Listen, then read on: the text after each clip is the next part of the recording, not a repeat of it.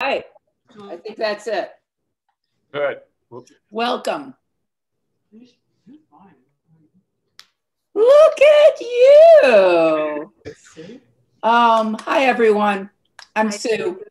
Uh, is, this is a wonderful moment. We are all together experiencing this life that many of us have uh, shared for many decades. Um, and so I'm just gonna, I'm gonna facilitate, I'm the director. Um, I'm gonna facilitate this discussion that is gonna go something like this. Um, I'm saying hi. Uh, I am going to welcome Frida uh, Berrigan, who is going to say something welcoming. Jim Reale is going to say something welcoming. Um, I'm going to come back and say thanks to many people, although not all the people I could possibly thank, which would go on for days. Um, and then we are going to get to the meat of what we're doing, which is talking to each other about the Berrigans, about plowshares, about our what how they inform us now. So, Frida, where are you? Oh, let me say another thing about Zoom. Uh, Zoom is our how we communicate these days, right? So try to keep yourself on mute uh, unless you're talking. And if you would like to talk, say something in the chat section. Say, I'd like to say something. I'll call on you um, eventually we will loosen up and we'll all just be talking to each other. But in the beginning, you know, I'm the director, you know, give me a chance to direct and sort of keep things under control. And then things will loosen up and we can really get to it. So, Frida. Great. Hello. Hello, everyone. Can you hear me okay? Yep. Okay, good. Um, so I, I, wrote up uh, some uh, thoughts thinking that I would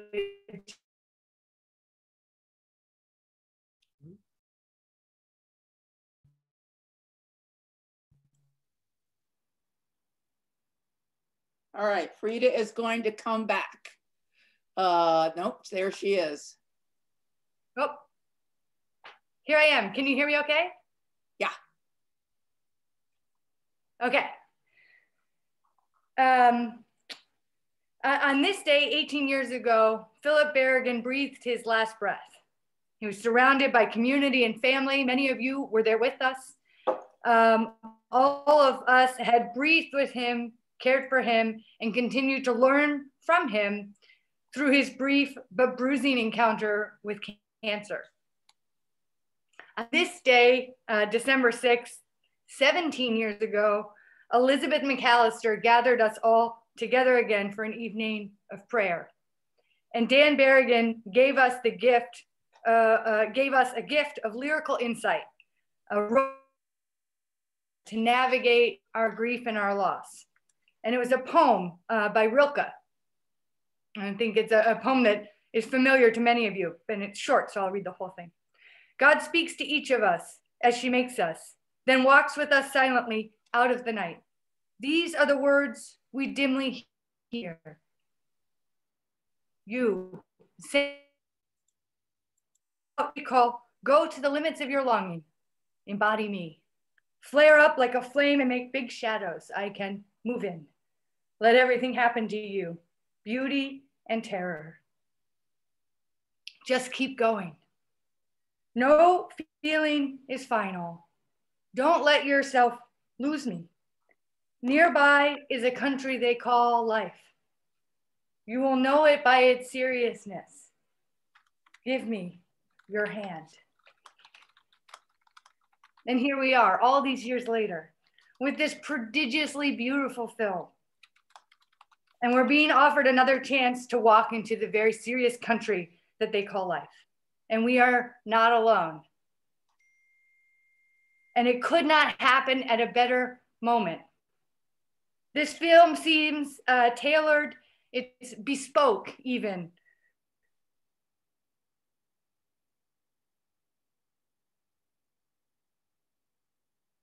bulging this panslist paroxysm, this 100 minutes to nuclear midnight, this constant war making that we're in right now. Phil and Dan and Liz and the communities that they wove together continue to teach us not to despair, not to despair. They say the praxis is prayer. They say the tools are always the same community, prayer, study, reading the times, action, evaluation, more prayer, more action, this, this cycle of, of our work, this cycle of our days. So thank you to Sue Hagedorn, uh, to the Reale brothers, to Chantal and Maddie and Danielle and everyone else who worked on this film. I'll finish by saying that one thing I appreciate about this uh, film is that it doesn't put Phil or Liz or Dan in, uh, in amber, right? They're not suspended in a museum for us to marvel at from all sides. They're not relegated to a pedestal uh, to make us feel inadequate or to collect dust, right? The work continues. The plowshares movement that they helped to start is alive and well and on probation and in jail and awaiting prison uh, as we gather today. The Catholic worker movement that they ran alongside of is meeting the immediate needs of so many during this pandemic and organizing against the systems of oppression and racism and war making that cause those needs. The world is waking up to the nuclear nightmare they work so hard against. And the new treaty to ban nuclear weapons will enter into force on January 22nd, 2021, having been ratified by 50 nations. Um, there's so much work still to do, and this film uh, gives us the nudge, gives me the nudge that we need to keep our shoulder on the plow and our eye on the prize. So thank you so much. Was, it was extraordinary to watch it alongside all of you. Jim. Thank you, Frida. Thank you, Frida. Sue, is it my turn? Yep. Okay. Well, I was watching the film again for, you know, how many times I've watched it. I thought to myself, wouldn't it be great if every town in America had a Jonah House or a Catholic worker? we would be such a different nation. So that is my hope for today. Uh, and all the things that uh, that happened to me at Jonah House, it completely turned my life around, and certainly my siblings can talk about that. But I do recall meeting Phil for the first time. He had his back to me, and Carol Berrigan said, "Oh, Jim, I want to introduce you to my brother-in-law, Phil." And Phil turned around, and I looked into his eyes, and I knew without either of us saying a word, my life had changed forever. That's the kind of charism and magnasm that, that Phil possessed. And of course, Dan in a very different way. Um, so I hope someday people who aren't already experiencing it, they have a chance to experience community, even on the periphery, going to a Catholic worker, visiting Jonah House, and knowing what is it like to live in community? What is it like to live by conscience? and feed the poor and say something about the monstrosity that America has become with regards to war making. I hope that happens. I definitely want to say, and it'll come up again and again, but I want to hold up the people uh, that have recently done a plowshares and are awaiting sentencing or already in jail, and that's Carmen, Claire, Mark, of course, Liz here, who has served her time, Patrick, Martha, and Steve Kelly. And I want to especially hold up Steve, who has done over 10 years in prison. He is just so, so faithful. Uh, and he does jail time like no other person. Most of his jail time has been in solitary confinement. He's really carrying the tor torch for plowshares. So here's to Steve. Uh, and uh, I must say, one of the driest senses of humor in the world that Steve Kelly possesses. Uh, but how did how did we get here? How did we come to be gathered around and on Zoom watching just having watched this film? And um, the Gospel of John starts with "In beginning was the Word." Well, this film started with "In the beginning." There was a phone call, and that phone call was from Sue Hagedorn. Sue owns a house on Block Island, and uh, I'm in Albuquerque, New Mexico, and she asked around Block, she goes, I'm thinking of doing a film on Dan Berrigan. And uh, well, everyone said, well, if that's the case, you got to call Jim. So Sue calls me and says, would you be interested in an interview about uh, on this film about primarily uh, Dan Berrigan and Bill Stringfellow and Block Island? I said, sure, I'd do the interview. It sounds like a great film. So for two years, we worked on that film. And that was um, no, that, no, that wasn't quite how it went, Jim. I had a feeling you would, you would. To, who the hell is she? I got to well, do some research. I was getting there. and so uh, after two years, um, we come up with this film and it's called Seeking Shelter. It's a beautiful little film. It's, it's online now. But right before we finished it, Sue says, the four most important words I've heard of the decade, she goes, We have two films. I said, What do you mean we have two films? She said, We have so much footage. We need to do another film, and it's going to be a full length documentary. So, for the last four years or so, that's what we have been working on with several people, of course, including my two magnificent brothers. We have two films.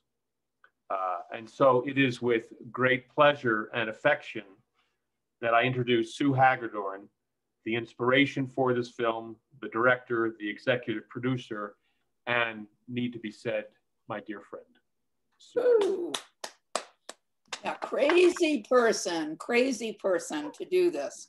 But really, my job right now is I could never thank the hundreds of people um, who have made this film happen. I mean, from the beginning with Jim, from the beginning of being on Block Island and filming a, uh, a focus group uh, that was facilitated at the uh, Block Island Historical Society by Ann Tickner, to mostly you know, so I'm not going to be able to thank everyone, obviously, but mostly, mostly, mostly it's the Berrigans. I mean, this film obviously would not exist were it not for, and, and, this was, you know, you want to know the number of titles we've had for this film? Don't ask. one of that, one of the titles is A Century of Resistance. We're talking about a century of Berrigan. Um, I like that title um, a century. I mean, starting with the Bar- the Berrigans, your grandparents, Frida and Jerry and Kate, uh, the parents, starting with uh, Dan, starting with Phil, uh, Liz, Frida, Jerry, Kate, Carla, um, and the whole century of Berrigans, and all of the the pictures that we have, all of the interviews that we have really came through the Berrigans. And why you would have, I mean, it's Jimmy, why you would have trusted me, you know, you wouldn't have, except were it not for Jimmy and were it not for how you changed me. Mm. Yeah, I'll just put here, you know, I was on the other side of the movement. I was bombing things, I was blowing things up. You know, my name was uh, Spark sparky. You know, I liked fire, you know, so I was not nonviolent and I became changed from your story. Um, and all of those who have been involved in the movement um, and dedicated your lives to uh, resistance to injustice and war. Um, and to Lizzie, I don't know if you're there. Lizzie was my editor for a long time, Lizzie Donahue, Thanks for pushing me, Lizzie. She would not let go of this film. You got to do it, Sue. You got to do it. Um, to the Block Islanders who hosted the Berrigans for decades and cheered this film on. To Hope, my daughter, who always had my back and understands words a whole lot better. She had a whole lot of other titles for this film. To Zane, my grandson, who consistently brought, you know, at 13, 14, 15, uh, 16 now brought a, uh, a fresh perspective to this movement. Um, to all the folks who answered our requests for interviews, so many of you, why would you trust us? But you did. And you let us into your houses, let us into your offices, let us into your lives. Um, and my genius camera person, Jennifer Cox, um, you let her in too. Um, to the anti-war and plowshares movement that continues to show us the way. And finally to the Reale brothers, Willie, Jim, Rob, and Rick, come on. You are a Reale brother. Uh, to Rick Trester, uh, to whom I finally let go. I finally said, take it, make this into a film, and then you all made this into the film that we have today. Thank you, thank you, thank you, thank you, thank you. How about a toast? Ooh. All right, where's that scotch? Um, really to all of you, to the Reale brothers, and to the hundreds of people that I didn't say your name, but know um, how much you're adored. Um, and this film could not happen without you. I'm looking at you. Woo, Jacqueline Lee to Jacqueline, who stayed with this film for years. Um, thank you, thank you, thank you, all of you. Cheers. Yeah. So now we're getting into the the um, into it. Would you speak? Someone asked Elaine and Ched. Say, would you speak to how Liz responded to the film? Um, I can do that. Um, so we watched it. Uh, we saw a, a rough draft uh, together on Block Island this summer um, on Sue's back porch with Carla and Mark. Um, and, uh, and so I think she was primed for it. Um, and, uh, and I think this time, you know, every time uh, my dad or Dan was on the screen, which obviously was a lot, uh, her whole face lit up. Um, and uh, particularly with Dan's uh, zingers, and there were so many of them in the film, uh, you know, she really, oh, he's just so good. He's just so good. Um, so I think I think we'll have to watch it a couple more times um, uh, together, uh, and I look forward to that. But um, but but I think uh, for her, you know, um, you know, seeing particularly the plowshares and uh, and still being on probation and having her co-defendants. Um, uh, uh, Martha Hennessy and, and Carmen Trotta, who will go to prison later this month, um, Steve, who's in uh, jail right now, uh, and uh, the others uh, who, uh, Claire and Patrick, and who will go to prison probably in January, and then Mark, who will be sentenced later this month, to kind of know that all of that is is you know carrying on, um, even as you know you have. Uh, Bill and uh, the intercuts of, of Bill Wylie-Kellermann and Steve Kelly and Jim Reale telling the plowshare story um, was, uh, yeah, was particularly sort of a poignant and resonant moment uh, uh, for Liz, um, knowing uh, how many story, how many of those stories are are out there, and how many of them she knows uh, so well. So, um, uh, so she she really she liked it a lot, and she's watching all of this on the big screen in our living room um, so uh, isn't uh, participating directly in the Zoom, but is hearing all of this. And Liz is now living in New London, and Kate is in New London, and Frida, who was going to become the mayor of New London. I hope that you all, had you been in New London, you would have been voting for her. Uh, couple of votes. I'm ready for it. I'll move here so I can win next time. No, uh, uh, Liz lives uh, about four blocks from uh, Patrick and I and our family uh, with my sister Kate and her partner Karen. Uh, so we're a bubble of eight through this pandemic and spending a lot of time together. So. Um, Bill Wylie-Kellermann, I know you can hear me. Tell us what you think. Bill was one of our advisors throughout this film. I mean, this went on, as Jim noted, for, he may say four, I'll call it five years.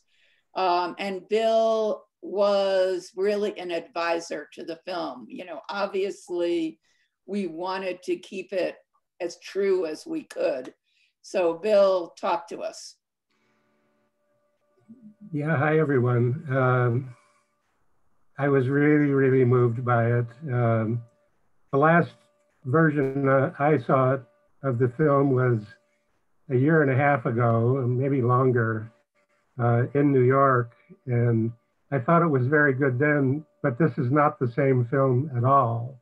No. Uh, it's completely different and uh, uh, really amazing storytelling, narrative weaving. Um, uh, I was delighted to be in the mix with uh, Jimmy and uh, Steve Kelly on the, that, the weaving of the action stuff there. Though, want to acknowledge that our action was not technically a plowshare's action. and I had said that to, to Sue a year and a half ago. Uh, but still, I think it works. That whole section works beautifully and makes me very happy uh, to be uh, to be part of that. Um, I I think the the volume of material that's come in since that time, particularly of, of with Phil and Liz, uh, has just been a really amazing uh, addition to the to the fullness of the story. And uh, uh yeah, I think you've uh, you've done a labor of love, Sue and Jimmy and all, uh, that I think is going to going to bear fruit um, for a whole nother generation of um, community and resistance and, and nonviolence. And uh, uh, I'm grateful to have been looped into it a little bit. Thank you. Um, tell us, how about Willie and Rick? When this film came to you, I mean, I am so appreciative for the team that you guys put together that you can talk more about about uh, how we got to where we are now. And also Amanda and Barry, you were there right at the moment that we don't need to talk about, but at the moment where it was like, oh, Lordy, Lordy, Lordy. Um, Willie, Rick, you got anything to say? Well, well I just want to say first off, Sue, um, this became such a passion project for us that um, we saw a cut of it and we saw this huge, huge potential there. And it coincided with the pandemic and it became our lives during the pandemic. But I really want to thank you for trusting us at this time because it's just seeing everybody tonight. It's so consequential what what we're trying to do with this film and how it touches everything. And what Bill said is, I mean, I really appreciate that, that that's what we're going for, a particular kind of storytelling that really expresses how deep the commitment was of these people. So I just want to say it was an honor and a privilege to be a part of it. And it was a terrifying responsibility to have the legacy of, of, of Liz and, and Dan and Phil uh, and, and, and in our uh, on our desk, um, and we are we feel as though the the story was so beautifully there in as one big solid piece of marble, and together with with Rick and Sue and, and, and a lot of other smart people, we were able to pull enough uh, the right marble off of it, we think, uh, to make something that is a, um, is a statue that will survive.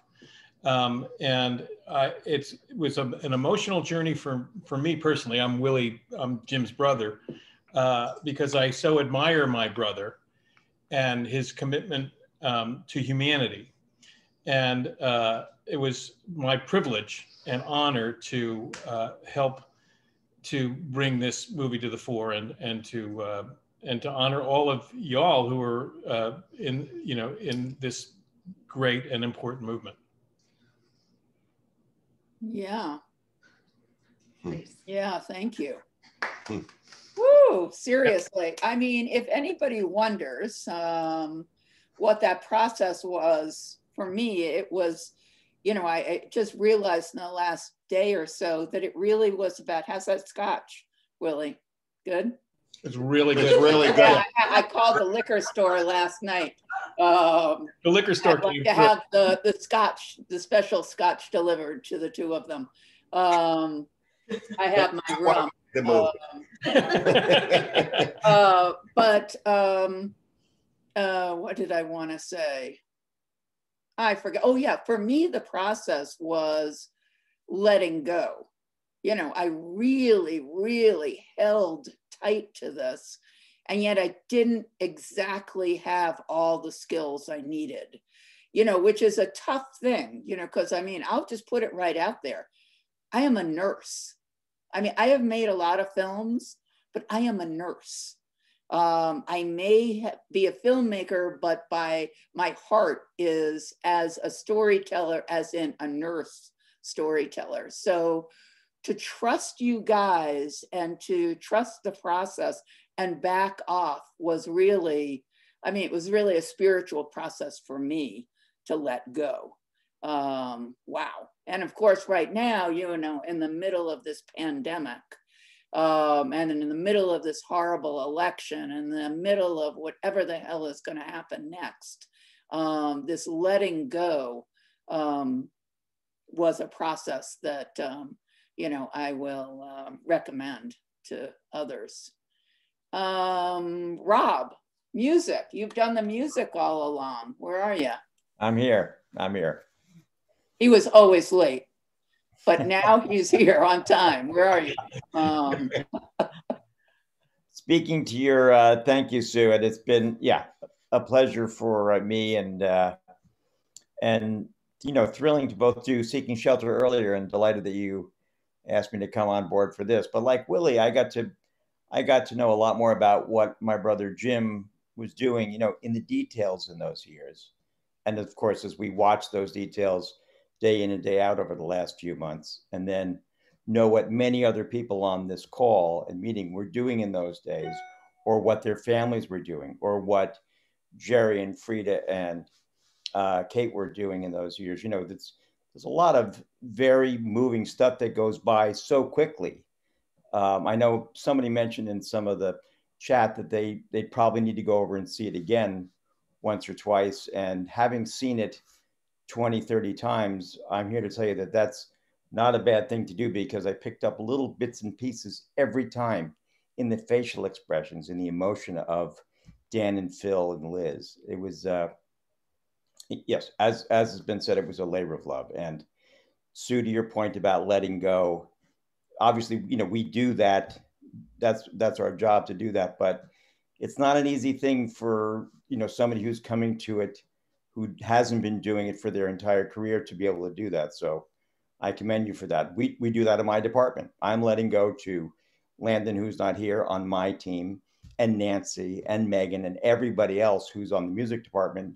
We have to all trust each other, and even more so in a pandemic because you're not with them. You're just letting go of it while they're off in a different part of town doing what they do, and you meet with them the next day or an hour later and hope that everything is gelling the way you want it to. So it was uh, it was an extraordinary experience. And Samara said after we finished the mix, she said, "Well, that was my first remote mix, thanks to COVID."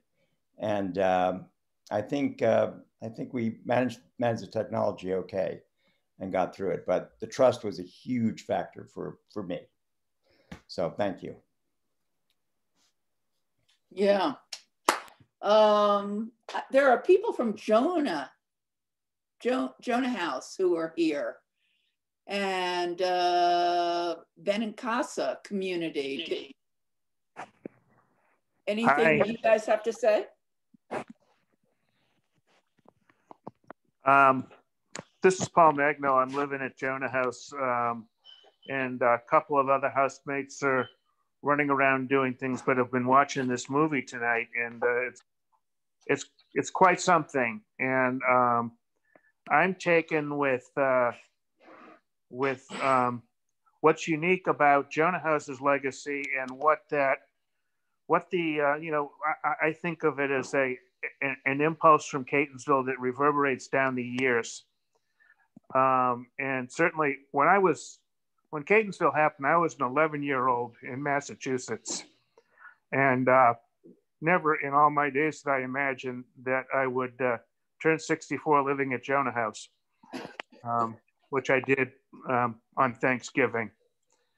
Um, but um, to go from from altar boy to felon um, and have it be a consistency is is is weird in itself.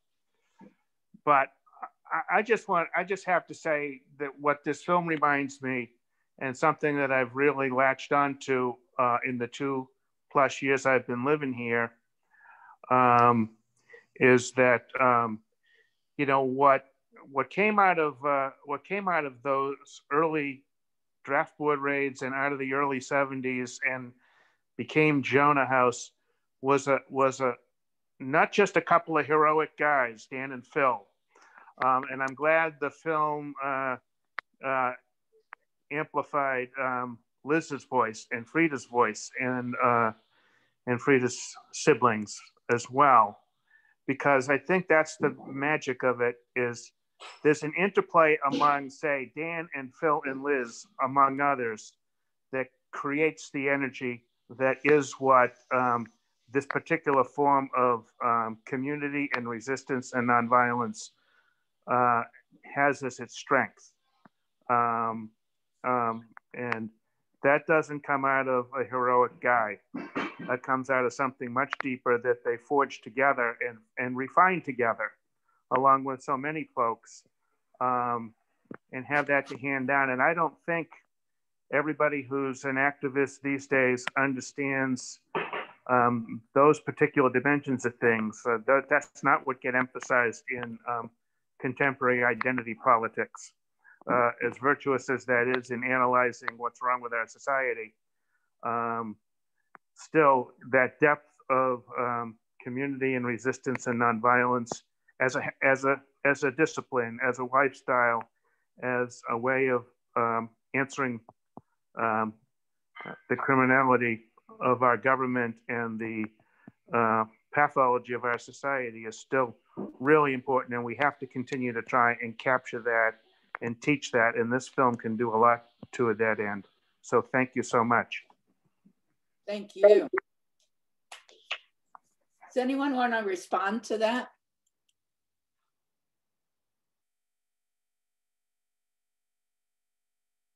I mean, I think that what you're saying about a way of being. Somebody said, have something to say?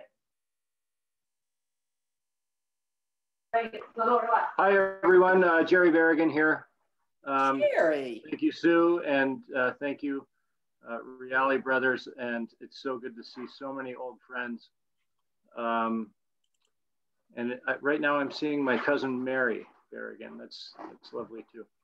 Um, yeah, I just wanted to, to jump on the, the, the Jonah House thing, you know, as, as, as I look out over here, there are so many people who have gone through those doors.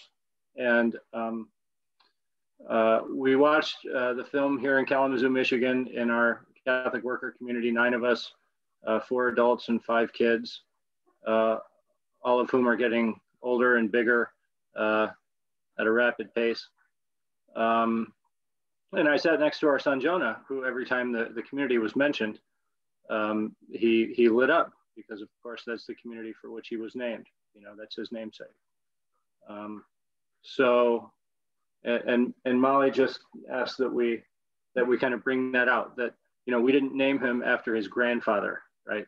But we named him after this place, uh, which was in so many senses, you know, a, a seed that that burst and uh, and and out of which came the living you know and um, Uh, so it was great to see uh, footage of, of the place.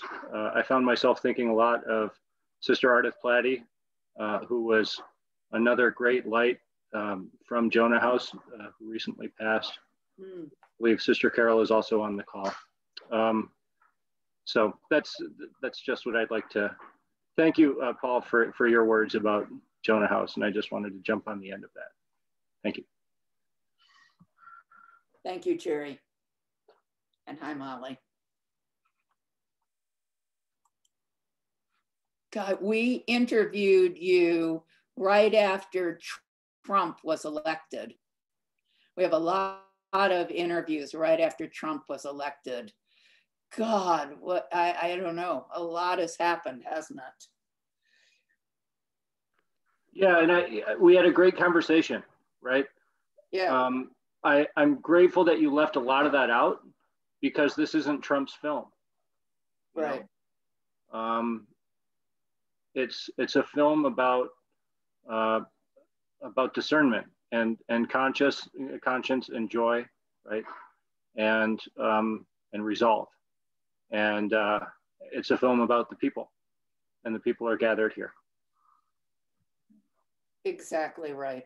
Exactly right. You might have noted, I, I, mean, several of you have already said it, that we tried not to make the individuals, a lot of this work was, all of this work was not about getting attention or being the star. I mean, kind of, Dan couldn't quite help himself because he was so damn uh, charismatic but I think if you talk to Dan, he would be like, What? Me? Who? Not me. Um, and definitely Phil, and definitely, definitely not Liz. No one did it for, you know, to get a lot of attention. They did it because it was the right thing to do and because of the community and the prayer um, that went along with that, that community that we're talking about. Um, um, um, anyone else want to jo join? How about John Dear?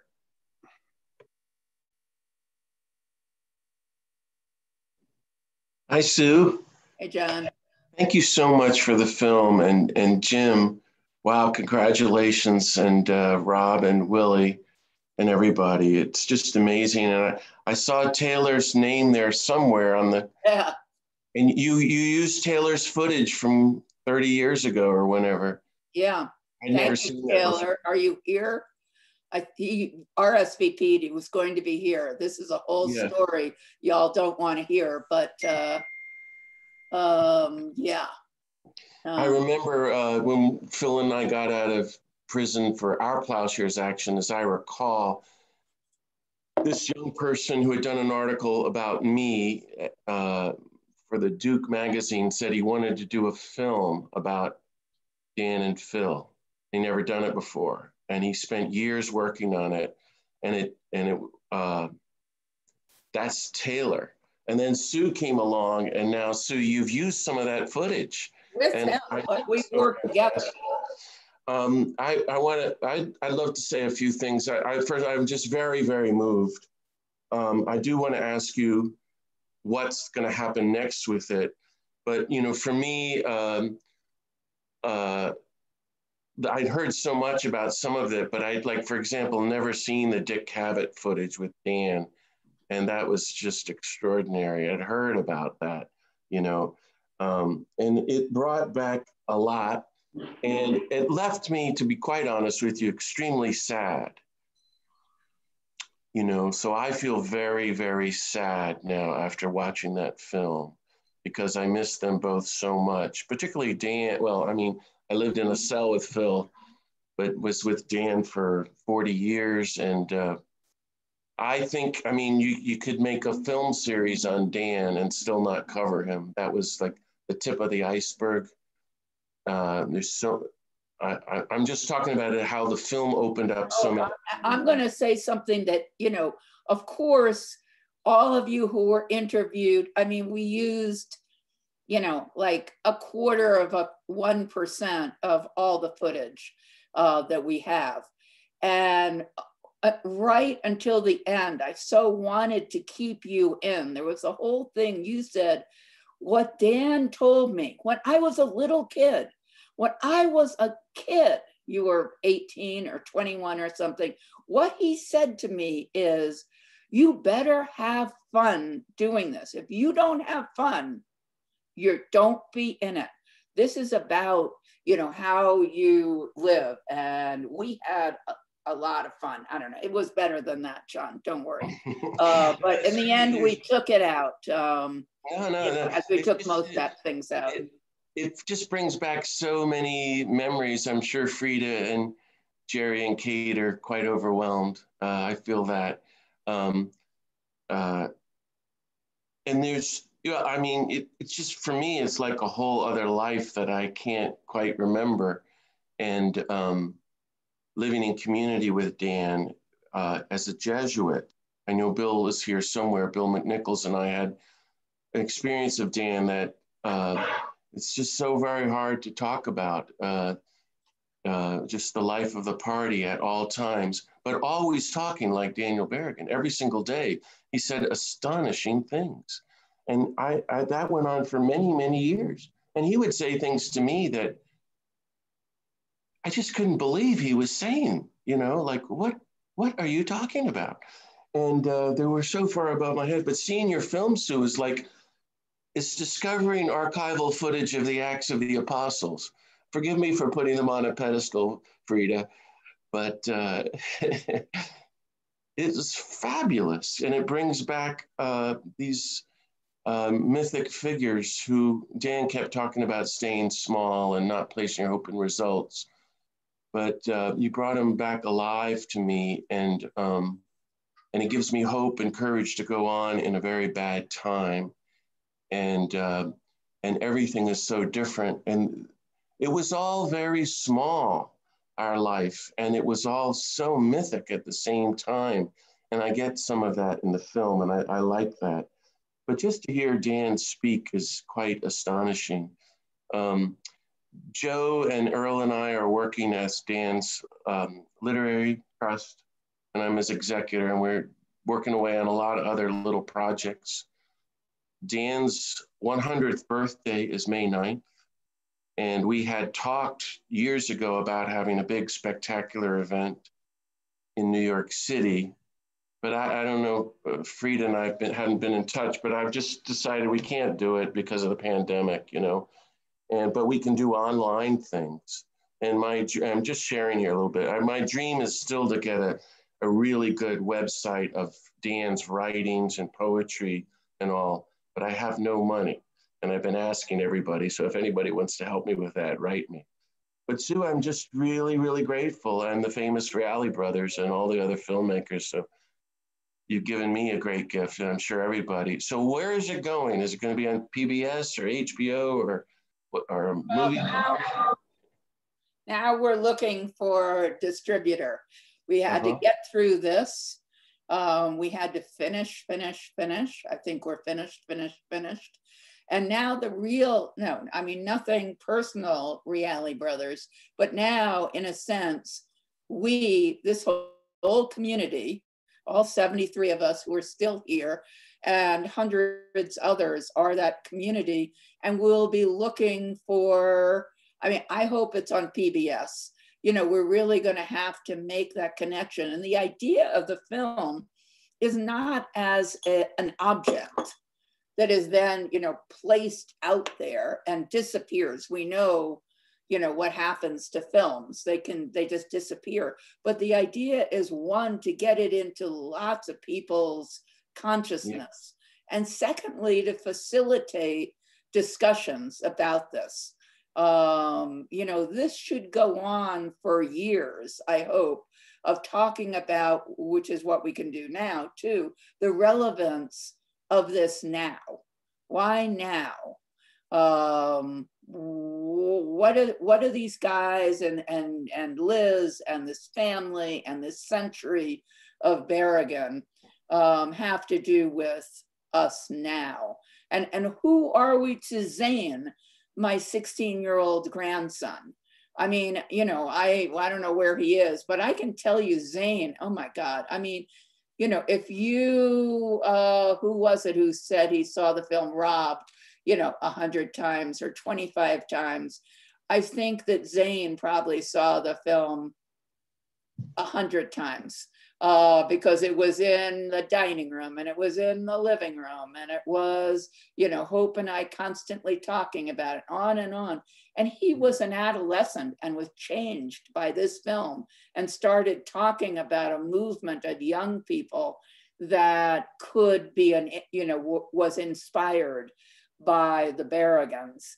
And I'm hoping that there is a movement of young people and of old people and everybody in between that says, yeah, now, this is relevant now. We don't have to be so silent and so silenced with our masks. Um, we can do, we have to do something. And, and you know, to have uh, Joe Biden, you know, like he is a nice guy um, you know, he is a, a moral guy, uh, but it, this this is not the end. Um, we are needed more than ever.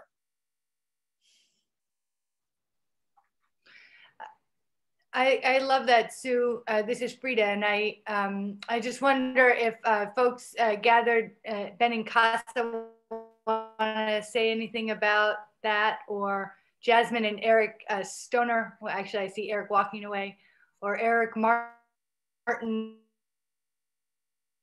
their work with young people, or um, uh, just uh, some of the ways. Nothing like uh, nothing like Jonah House in the early 70s, uh, but but are certainly on that on the same on the same you know spider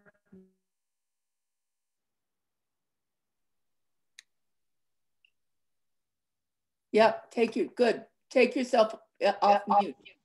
Hello, Great. everybody.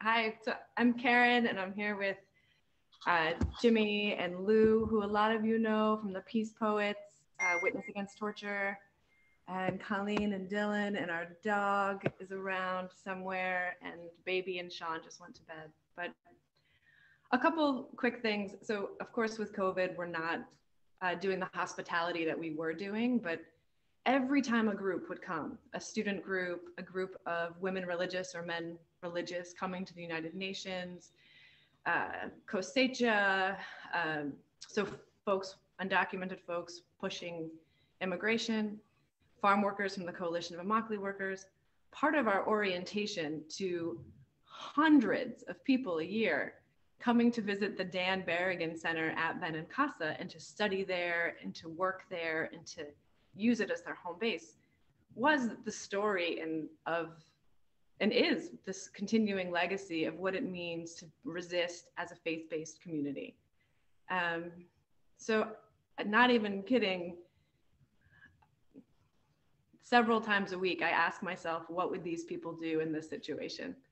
And just on a personal level i went to jonah house when i was in college. Of course it changed my life like everybody's saying.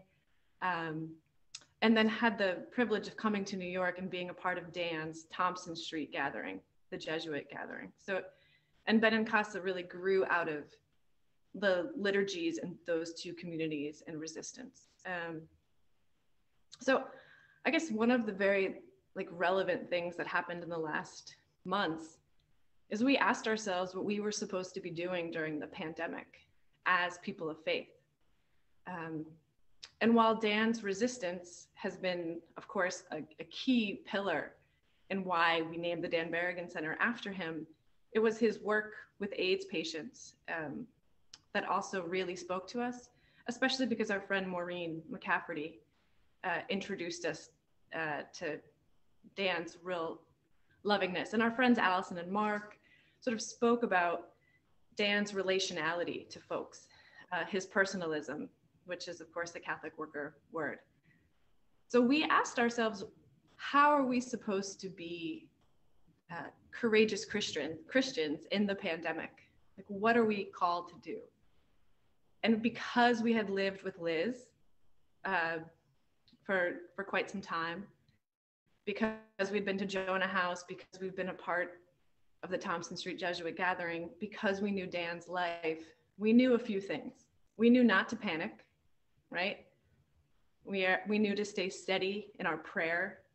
And from that discernment about how we were supposed to care for the people in our house and for others, our community ended up going and, and really working with Colleen's community at Little Sisters of the Assumption and keeping open their food pantry. So it was closed um, and our community split. Half of us took a Catholic worker shift, making 250 bologna sandwiches. And then the other half of the community went to Little Sisters and not even kidding, served 700 people a day.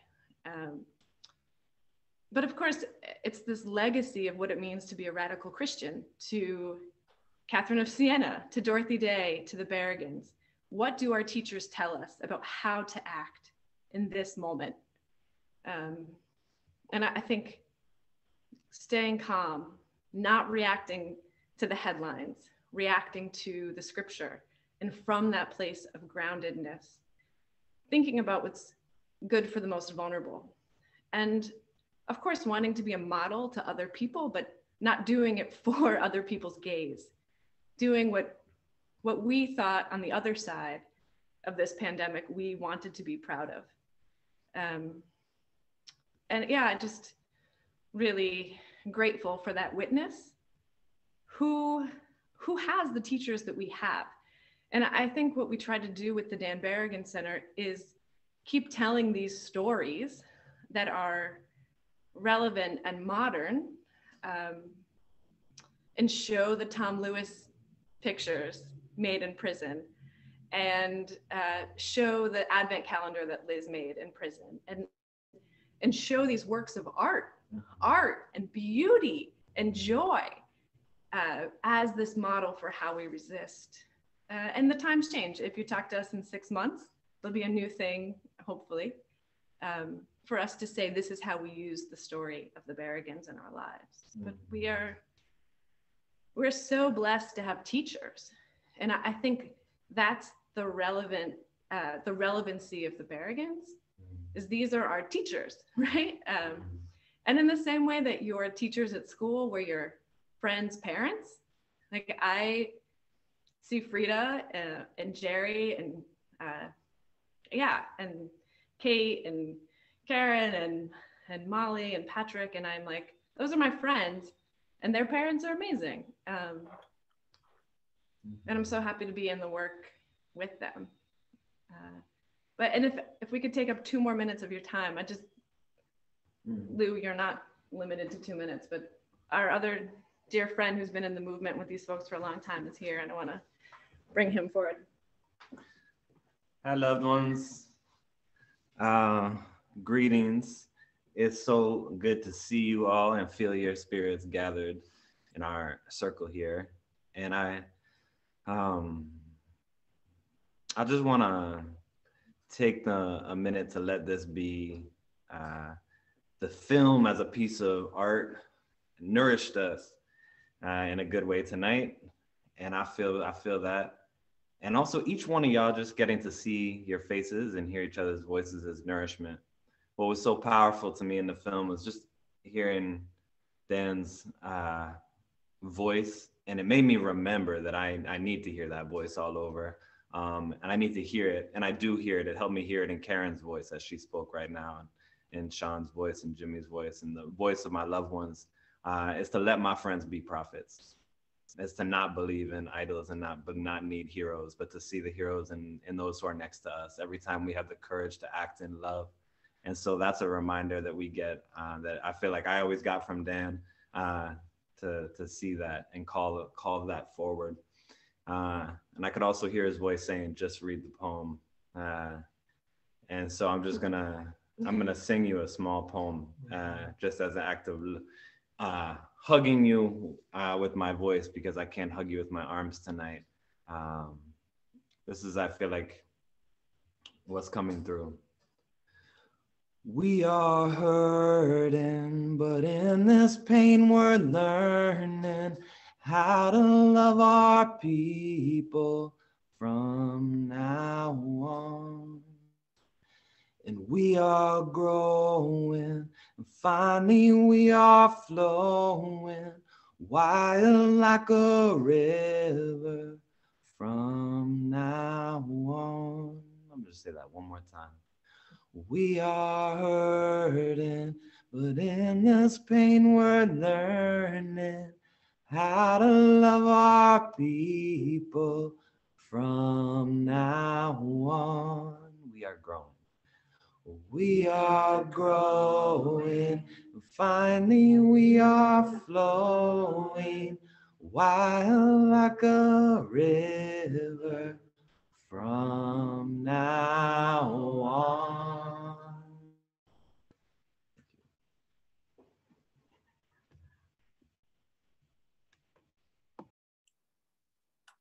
Wow. Sue, can I add a personal, just a personal note here? Oh, yeah. Um, first of all, I want to say that just it was an emotional roller coaster. I've seen as um, you know a few of the rough cuts, but that just it really blew me away, and it was emotional. But what the biggest thing was that of that was um, some of you, many of you know that my mother has Alzheimer's, and she is pretty narrow in her world vision right now. Um, but her caretaker kept texting me pictures of her and giving me blow by blow updates. And my mother kept getting closer and closer to the screen. She was touching it. She was remembering people. She was saying, Oh, that's my Jerry. Oh, Phil looks old. Um, and got very excited about Dorothy Day and went on about how Dorothy Day was her dear friend. And she just, there was just picture after picture of the delight on her face. So thank you. Oh, Carla. Uh, Carla, my girlfriend, um, Carla is the daughter, one of four children of Jerry, the next brother. Now, you know, uh, of course, this film has had, you know, like a hundred different variations. One of them included Jerry, who was, who could have been Jerry Berrigan, the next brother up, could have been, was also one of the Berrigan brothers. Um, and there are some beautiful pictures um, of, of your dad, Carla, in the film. And as those who've been working with us recently have known, I'm like, no, put more in, put more in. What about that picture of Jerry and Carol? Put it in, put it in. Um, because they were brothers. There were six boys and Jerry was also was in the priesthood, uh, your dad. And Carol, oh my God, her smile, her smile. Um, anyway, you know, I, I'll say something about my connection with you all. Has been, I mean, it is it has made my life so rich. You know, you might say, um, you know, why be a, a documentary filmmaker? Um, and if it isn't because of the relationships that you make while making the while your heart is moved by everything and you're working your butt off i mean trust me don't anybody think it's a romantic thing it is totally a pain in the butt. It would be so much easier to you know do a whole lot of things but you get so i have become so connected to all of you, all however many people are still online here, and so many others of you have given me so much, and I have the, the connection and the inspiration um, of people I've known and worked with and haven't known um, has been glorious. So thank you.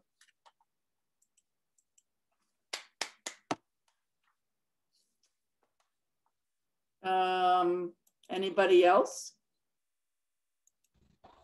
Hi. Hey.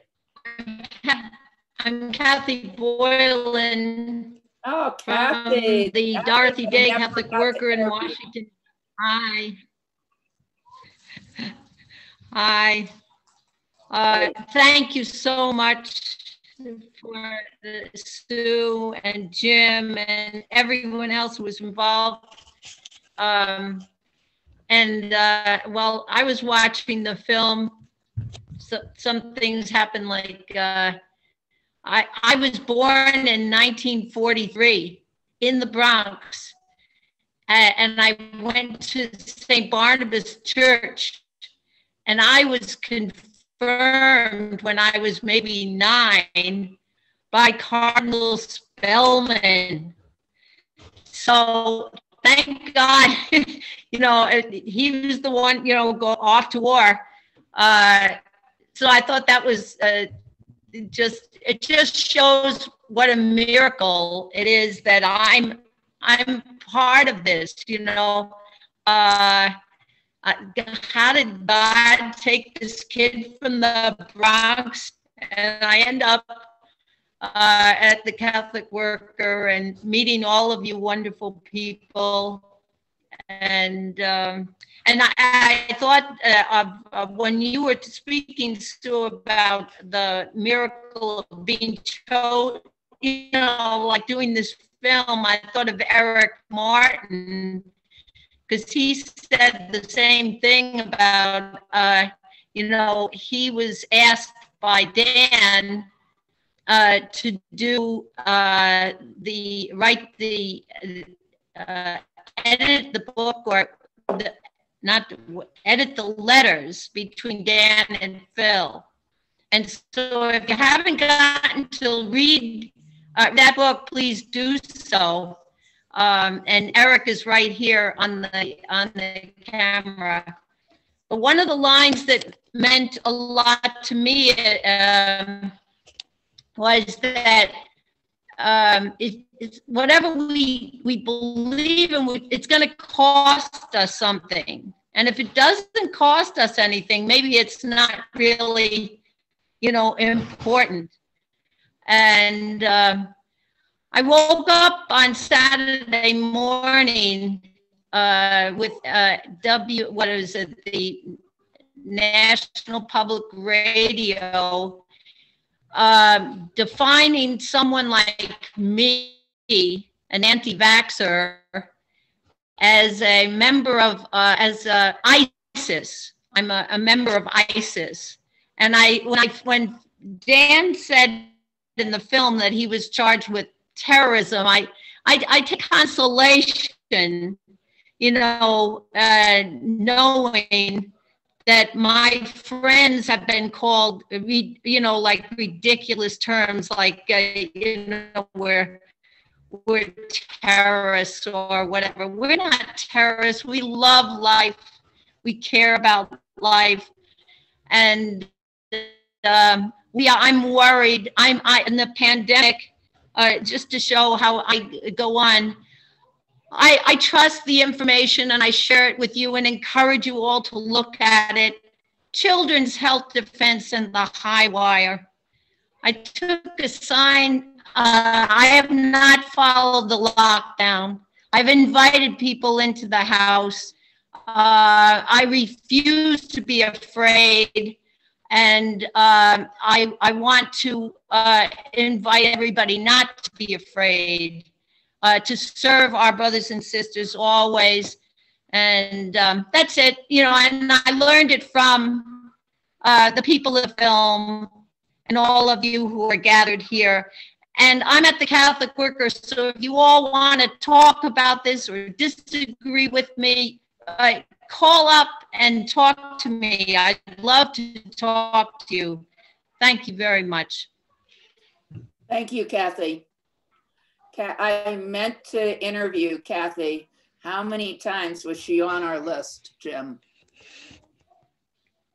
Yeah, she was. Yeah, got, I uh, I was in a plowshares with Kathy, and she's just marvelous. Mother of five, and uh, went on the stairs of uh, a nuclear power plant where her husband, one of the big executives, and just denounced and that was, um, uh, I believe, that was the end of the marriage and the beginning of, or one of the beginnings of Kathy's resistance. So. Could someone explain this to me? Is there a, can no can anyone hear me?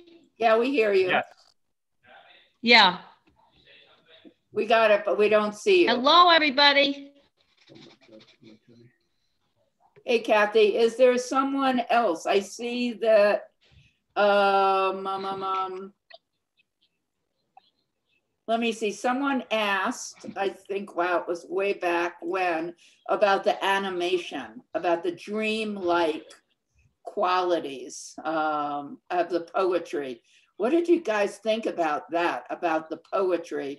And at one point, there was a lot more animation. We had the most glorious animator, uh, Dustin, who did these amazing, amazing dreamlike uh, pictures that we ended up using way less than what we really had.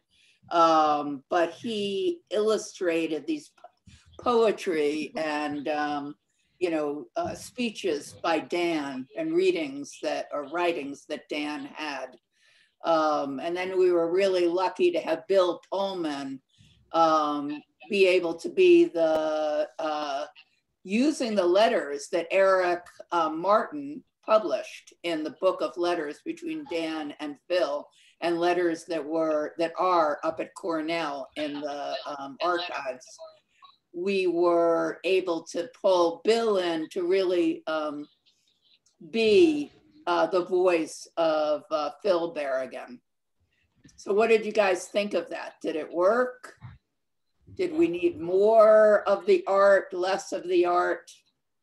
Did it take you out of the film? Did it put it in, put you more into the dream like? Um, what do you think? Uh, I thought it worked well. I enjoyed it. This is Alza. And uh, the whole film was really uh, extremely moving and makes me want to uh, get back into the action again. Uh, spend the end of my life uh, doing this, which I learned early in life from Phil and Dan and, and being in some of the early uh, actions that uh, were going on. And I was wondering, is there any possibility of getting uh, copies of this at some point? Because uh, I have lots of people I want to get uh, involved with them. We will deal with that. Right now, uh, we want to get it out, out as widely as we can. Um, and this is a one time, we love you guys. Um, event. And then we hope that you will help us also advocate for this film um, to bring it out. This is an important, if we're having this experience, there must be millions of others who don't know who the Berrigans are or were, don't know about this meet this movement, and will think, wow, this could this could work for us now. I'm seeing uh, Willie, you're having a response here. You want to say something? Yeah, I, yes, I do. I, um, I, we are very anxious to, to employ all of you in getting this film out to as many people as, as we can. And we are going to coordinate with people that know how to do these kinds of things and in other ways. Um, and so uh, be prepared to hear from us and uh, for you to help us uh, spread the word uh, because we have uh, an important tool here. Um, and so we're, you, you're, you're, you are now in the Army. One other thing is that you are the first audience to see this film. So your responses are important to us uh, in terms of how it plays and how the, how, how the story holds together. So it's been very gratifying for us to hear hear the responses. Yeah, we're encouraged, and um, and we're going to bring it out there with uh, with all the horses we can we can muster. You know, and let me say something more about uh, Rick and Willie. That they took. Oh no no no no no. Oh yeah yeah yeah yeah. Come on, get out that scotch. I sent you that scotch for a reason. Um, they have been brilliant in their storytelling yeah, we had the story. I mean, you know, I thought five times, four times, three times, we had a story that could have been taken out uh, to the public and would have been really good. But what these guys did was one, treat me gently. Thank you. Um, and uh, treat me respectfully. Really important in doing this work. I feel like crying right now because uh, that really, the other part of being a documentary filmmaker is it's the respect that happens uh, between um, colleagues. It's a, it's a group activity, uh, a team activity, and that you guys got it in terms of do, doing storytelling. It was a very, it was a brilliant process that you guys used, and thank you. Yay. Yeah. Thank you, sir. Yeah, thanks for saying that, Stu. The clubs. Woo! But- Janae. but by the, by the way, you know, it was there was a really very very um, uh, productive back and forth between uh, us and you, and and we would you know we had really uh, what we felt were strong ideas, and when you criticized them, we took your criticism to heart, and it was a, a, a very magical uh, experience for all of us, and I think um, that we um, arrived at something that was uh, streamlined and that can really reach a wide audience. And that's what we're desperate to do. Yeah, we're desperate to do it, guys. Yeah. But let me also say something, which uh, probably we should stay with our desperate to get our film out. Uh, but I'll just say, you know, I'm a feminist. And I really, it was, I, my expectation was I was going to be working with women throughout this film. And the idea that we were, that, that this film was about men. I mean, for the most part, thank God we were able to integrate Liz into this. Um, and that I was working a lot. I mean, I was, I really appreciated your respect and our way of working together because it was, it did not come naturally to me. Um, I kept thinking, you know, but Lizzie, I think that you're there. Lizzie, aren't you there? My first, not first. Yes, I am. Sorry. Say something to us, Lizzie. Can we see you? Uh, hold on.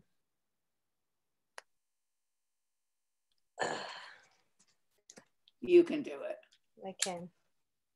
Hi. Hey, wherever you are. We were watching it in the dark, so I didn't turn it on. But anyway. All right. Lizzie, Lizzie, I, you know, I thanked right up front that had she not been so persistent or a pain in the butt, this film would not have even started. Uh, come on, come on, you got to do it. So go ahead. I agree with, I can't remember who said it, but I think there should be many films about this moment. And um, because Christianity is considered the religion of the United States. And there's a lot of people who call themselves Christians. And I personally, I was raised Catholic and I, I had spirit. I was born with spirit and I, it was maintained despite the Catholicism. And when I started to, I think it was when you did the Block Island conversation. Yeah. That's when I was introduced to Berrigan and I started reading him voraciously. And also, this is going to be a thorn in your side because I always used to bring it up William Stringfellow, who I believe is crucial to the development of Berrigan's spirit beyond the form of Catholicism. I think Berrigan transcended the structure that is the Catholic Church, which we know is is is a is a is a is the McDonald's of religion. You know, they were the first franchise for the spirit. And I really appreciated what you stirred up in the film that is about spirit. And I love Frida. I love when we were watching it, I knew the part about your your dad and your uncles laughing was coming up. And like there was just some great, really human moments about these were not, they were not um, prophets. They are men. And they were men who, in a funny way, this is going to sound really perverse, they used their white skin male privilege to put themselves at the forefront against the power. And they really didn't take that for granted. They knew what they were doing. And when they were in prison, I know from reading Dan's and, and, the, and the letters, they understood they had privilege even within the prison system because of their white skin.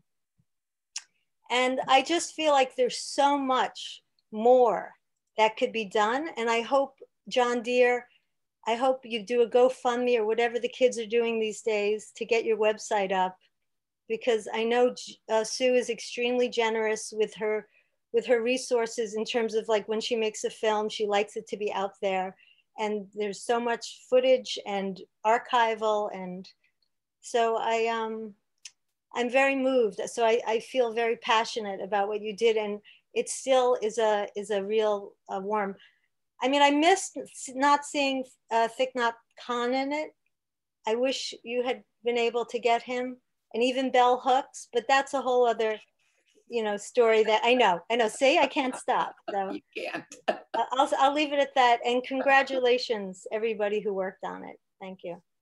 Can, I pipe? Can I pipe in here? Thank yeah. you for that. I'm so glad that you captured that because as I'm hearing you say you want this, um, talking about getting the film out, and all I can think of is mom, who uh, was dear friends with all of these guys, um, who would have me showing films, documentary films on our commons, our, our like walking mall, outside mall in Ithaca, uh, when all my punk friends were walking by and having fun. And I was like having to show films on, you know, the roses in December and the four churchwomen being killed in El Salvador or nuclear, you know, weapons or, or the Hiroshima Nagasaki films. So, and sent into to, to school with the, the documentary on Attica uprising and um, having to bring that in and made to do these things. It was not like a choice. it was kind of like, this is what we do.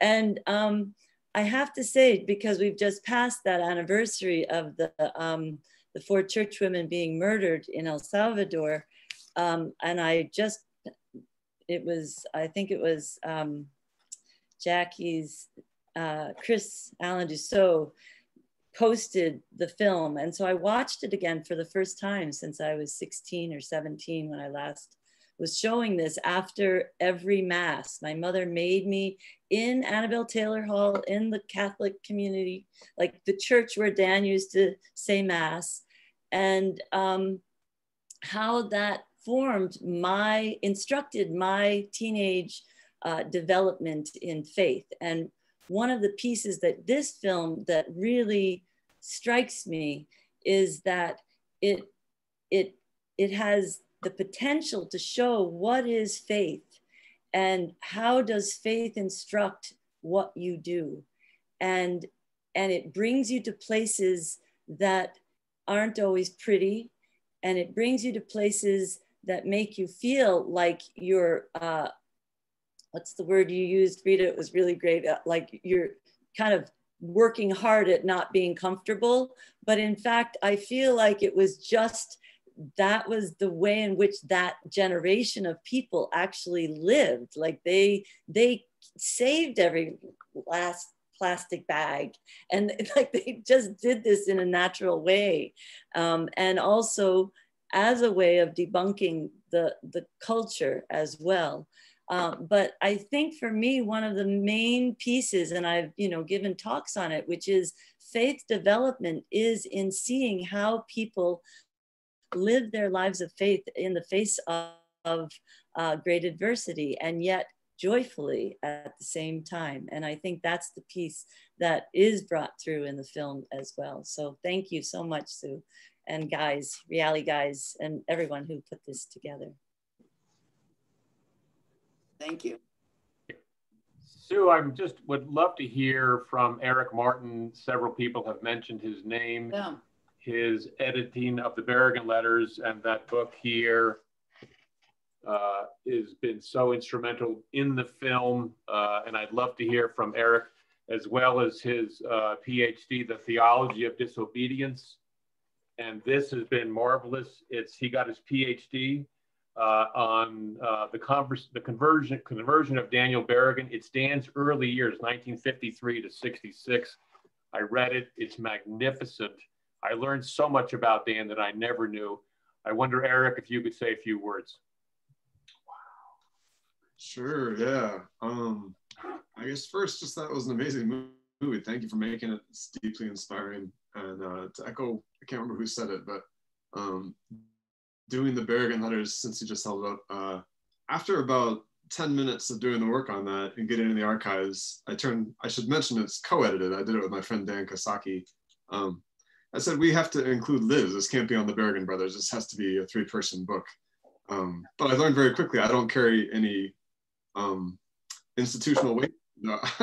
some unpublished grad, grad, student doesn't get to make a lot of decisions. Uh, so once the contract was signed, it was pretty much unchangeable. But also after maybe a week in the archives, we said this also has to be about, about Carol and Jerry. This, this has to be about five, people. This can't be about three, you know, two brothers. Uh, and really, I mean, the, the story should really be about everyone here. I could imagine doing a book, you know, on Elaine and Ched's community or Benincasa. Like, I don't know. I guess I'm just, I feel very lucky to be amongst this whole community and welcomed in. Um, yeah, I don't know. No one's ever held up my dissertation and said anything uh, about it before. I got to say, Jim, that was, well, I don't know what, what should be said. Yeah, I, I, I, went into the letters, not between Dan and Phil, but for my dissertation. Uh, on just on Dan's life. Well, how how did he get to be, uh, be Dan Berrigan? Because he started out as this Rome-loving patriot who was marching around after D, after V-Day um, with an American flag and celebrating. And so I just thought, well, he was really pro-America and loved Rome. What happens? So I went back into his old letters just with everybody to kind of trace what was his theological conversion? How did he get from one theology to another? And something I found uh, I was really struck with was the legacy of the worker priests in France in 1954.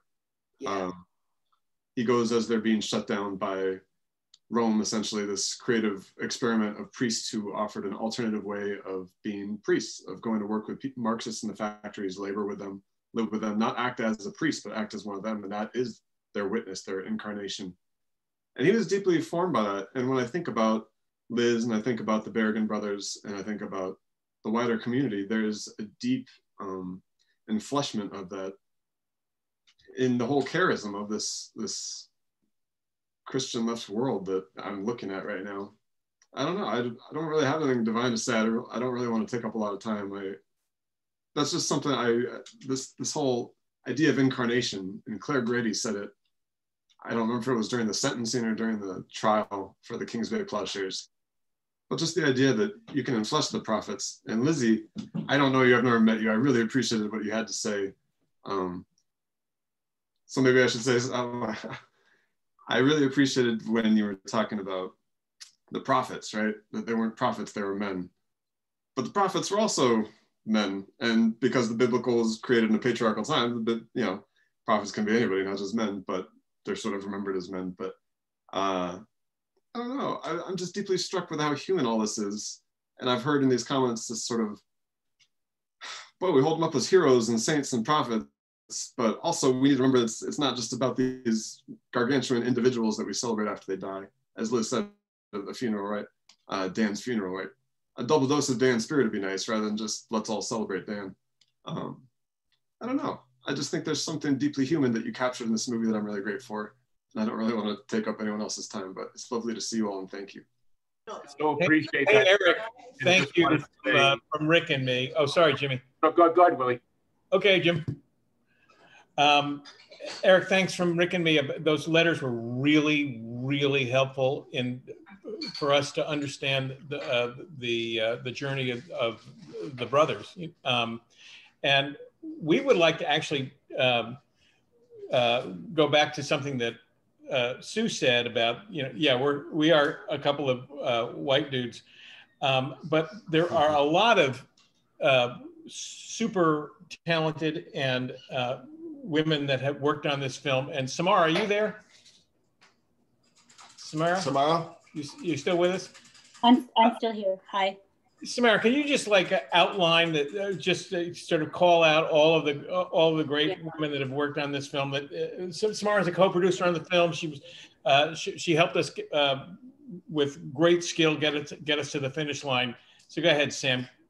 Well, um, yeah, it's yeah. just like it's just there are so many great women who made this who made the movie and so and you are uh, you are at the top of the list so if there's i mean after sue so if there's if there are people that you want to mention in terms of the editors and post-production and everything I, I, would love to mention all of the wonderful women that have worked on this film. Yes, thank you.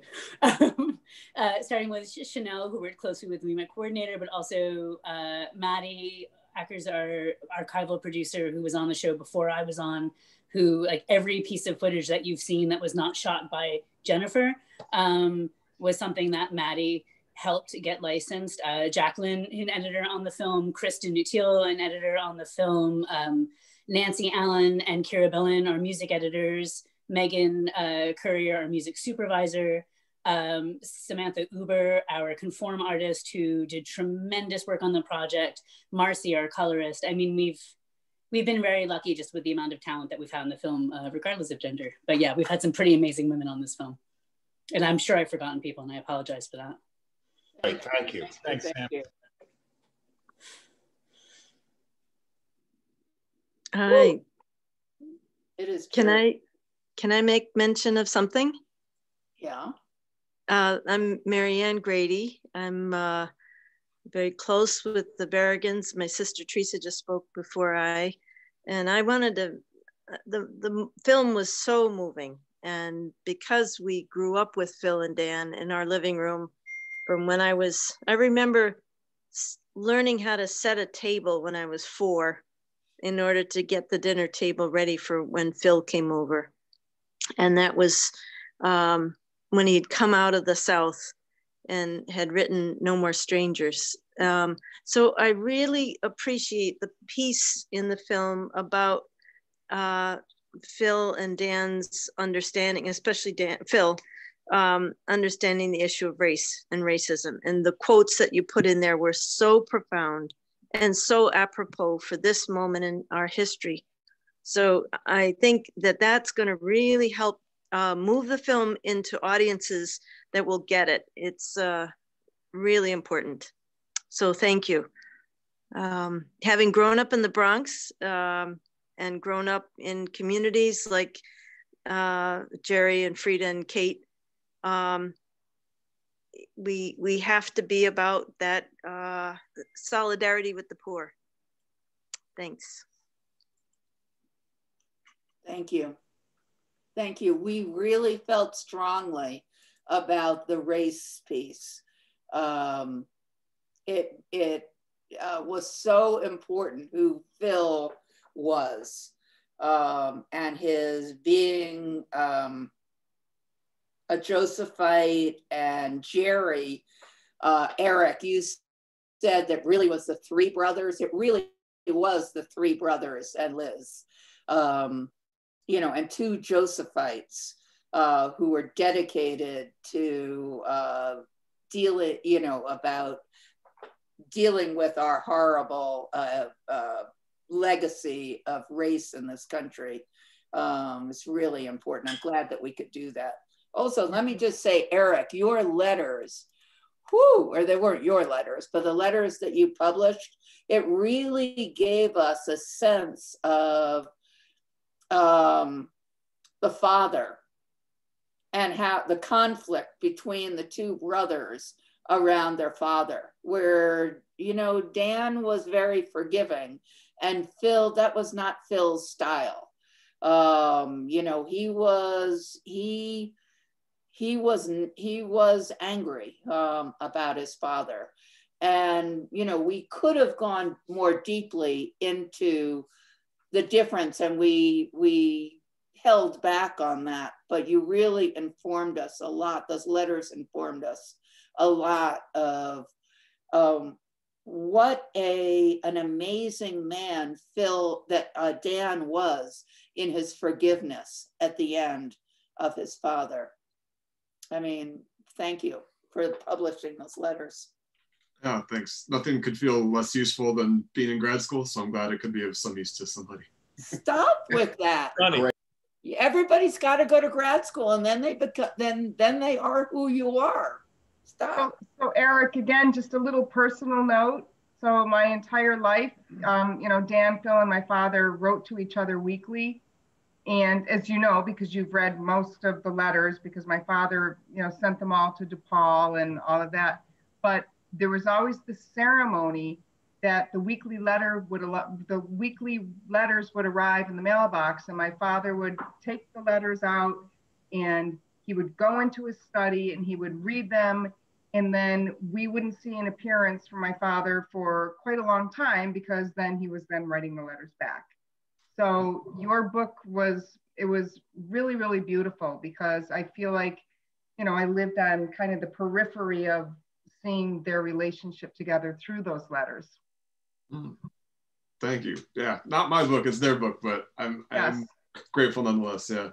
And I will say just one last thing since we're talking about racism and anti-racism, I'm glad. You, I'm also glad you included that Sue in Stokely Carmichael. You had Scahill. Yes. Quoting Stokely Carmichael that Phil Berrigan's the only white man who knows where it's at. But in Charlottesville, so I lived in Charlottesville, and was active with our own community, which is kind of a sister, like cousin community to the Catholic worker called Caris and we were kind of at the center of the clergy resistance to the anti uh, to the you know the KKK and neo Nazis and white supremacists there. And the story is finally being told by the creator of Caris Community. Her name is Grace Aaron. Um, she's starting to write the the story of the community, and the way one of the ways uh, she she chose to express it is between using these letters between uh, Dan and Phil. And she talks about we were we were really found ourselves in the situation that the Berrigans found themselves in, in the 60s. And it was expressed by Dan in a letter saying, we're really just kind of bumbling around in mud puddles, figuring things out on the fly. we have mm. light, we have prayer, and we have each other, and we have community, but uh, we don't know what the hell we're doing. so it, it, was also drawn upon by anti-racists and whatever. Like it's all, you know, it's always problematic to invoke white white racial heroes, and that's not what I'm trying to do. But it is good to remember that sometimes people talk about, well, white culture is just uh, not a resource for anti-racist work. It's good to remember that in limited ways and imperfect ways, the Catholic worker, the Catholic left, the Berrigans and Liz, like these are real valuable, necessary resources for white people to build on today uh, during the Black Lives Matter era, I think. Yes. If I may tag on to that and just say, I'm very grateful to Clare, my sister, and Liz, and, and the seven, the Kings Bay Plowshares seven, and how um, central the uh, their message was of uh, the triplets in well i want to say the the four pillars of evil that the poor people's campaign name which incorporates the triplets that martin luther king talked about. But i appreciate that you know where we came from and what is being dealt with is being put forward in their mess in the messaging of the Kings Bay Plowshares, and that the racism element or the white supremacy is so uh, necessary for us to be keeping for you know in the in the in the forefront. Thank you. Thank you. Mary. I just want to give one more uh, highlight Eric, I really want other people to read your dissertation. I really feel, so far as the early era of Daniel Berrigan, you are the expert. Uh, and so um, I'd love for you to find some money to publish your thesis, uh, maybe in a shortened version, because it's it's a tome um, and much and a little more readable, less academic. But I hope that can happen. Uh, and um, it's it's so important. It's really it's it's really a magnificent piece, and I just want to encourage you to move that forward uh, mm-hmm. and find the monies wherever you can. I think that Sue may have access to a foundation, so maybe that's one possibility. But um, it's a very it's very important. The early years of Dan are crucial that I knew nothing about, and I must have had a hundred dinners with Dan on Block Island, just me and Dan and I never knew this stuff. So uh, I just want to encourage you to to bring that forward as best you can. So well, I want to say something, uh, Eric. For a while, probably the most important thing in the film, which you don't see now, is about the worker priests. The work that period of time after the Second World War and Dan's association with France, um, that he really became part, he really almost became French, uh, both right after the war and then in the mid 50s, and was so inspired by the worker priests who represented really how he saw Catholicism. I mean, it it's an incredible period, and we really respect it. Um, is that Bill McNichols behind you? Can I just say one last note? I'm just going to put on. in my I'm just going to put in my email address, and if anybody wants the dissertation, I will just send you a PDF of it rather than wait for a book. But Sorry, Bill, but thank you, Eric. Bill, tell us about your your artwork. Come on, get over here. Uh oh. Uh oh. I was trying to stay out. so, um, tell us about your work with Dan and Phil and your icons. Oh my gosh. Uh, first, I want to say that um, you made a, a, beautiful movie. I saw the other, you know, the other version, and um, for this version, I was just like on the edge of my seat. You know, I was like, oh my god! And the music, the music was really beautiful. I always, I always look for the music in every film. Um, they made a great film about New Mexico, Bless Me Ultima, and uh, the music, the music in every film, especially in the mission that Dan was in and all that. But um, everybody talking, Jeremy was great as a narrator. I mean, I was really stunned by him. Frida, Jerry, Katie, I mean, everybody. Um, it was such such a moving movie, and I really, I really do think it is so important right now for people to see it because they don't have that that history that that um, all this began, you know, a long time ago, not even before Dan with you know somebody like Ben Salmon, um, and before Phil, but um, I love the family. I mean, I I feel so honored to have known um, the Berrigans, you know, the especially, uh, I think especially Liz for me. You know, Liz has been important because she was an art historian and is a painter herself still and managed to be a great mother and a great wife and a great just just an extraordinary person and changed my life a lot and recently i did a something for her that she'd always wanted, which is a picture of uh, Rachel Carson. And she, she always pushed me. She says, You have to do a picture of Rachel Carson. So when I finally got to do it, I did. But your movie is just magnificent, and I hope everybody sees it. And um, thank you all for participating. And Eric, I really, really hope your book gets published. In fact, I'm going to do everything I can to I can, you know, I'm nobody, but I could, I, anything I could do to make that happen, I would do it. Um, and thank you again, Sue, and thank you, uh, especially Rob for the music and especially uh, the Reale Brothers.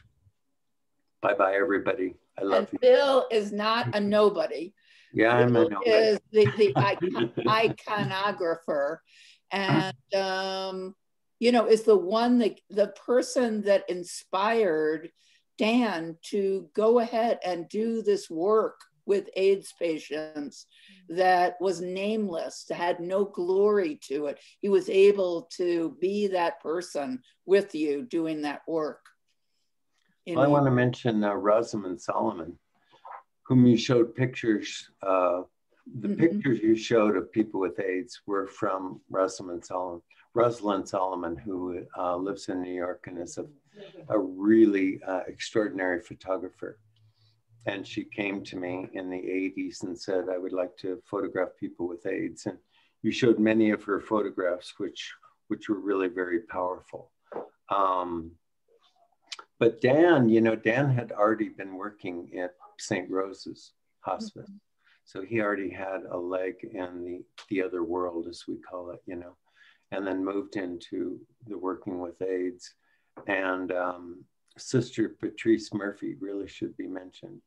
Mm-hmm. Anybody, you know, would like to know, but she she was the one that gave us all courage to be able to walk into AIDS, which was like the beginning of the pandemic that we have now, without fear, because she was a nurse and she she kind of you know made us feel confident. But um, Dan was great and wrote that beautiful book um, about AIDS. You know, uh, sorrow built a bridge, and that's a that's a beautiful book about it. And I will never ever forget um, being with Phil and being with Liz at Jonah House, and um, especially around the time of Phil's death, it was it was really a profound experience that has never left me, and and being with his children too, who are um, extraordinary people on their own, as as you saw in the film. So, uh, good night, everybody. I love you. Bye. Thanks, Bill. Don't leave, Bill. I have to jump in right after you. Uh, um, we just have um, Rachel Carson up here. Uh, oh. Caitlin pulled it off the wall. Uh, Bill McNichols' uh, beautiful uh, painting of Rachel Carson for Liz. Um, so, and so good to be with you, uh, Bill, on this 18th anniversary and to, to feel our, our lives all knitted together again um, over time and space. So um, thank you. Yeah. Thank you. Go ahead, Jeff. I needed to jump in on that also. The kids are coming in. We'll let them. This is Leah. Oh my gosh. This is Amos. Jonah's uh, not going to join us, I guess. Or Willie, come on in. Come on, When when uh, Bill heard that uh, Dad had terminal cancer, he hastened to paint this icon, uh, which then hung over Dad's bed. And I also see Barb Cass uh, on the screen.